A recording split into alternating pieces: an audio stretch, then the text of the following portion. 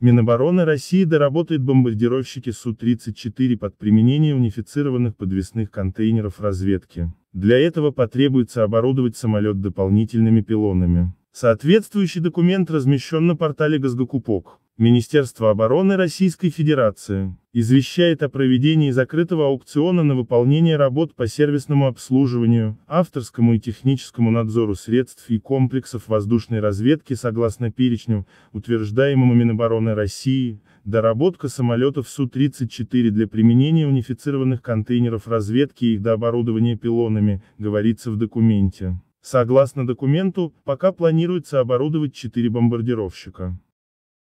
Начальная и максимальная цена государственного контракта составляет 256 миллионов 565 тысяч 871 рублей. Заказ разделен на две части. В 2018 год планируется выделить 162 565 871 рублей, а в 2019 год – более 94 миллионов рублей. Все работы должны быть завершены до 10 ноября 2019 года. Исполнителя контракта выберут 6 ноября текущего года.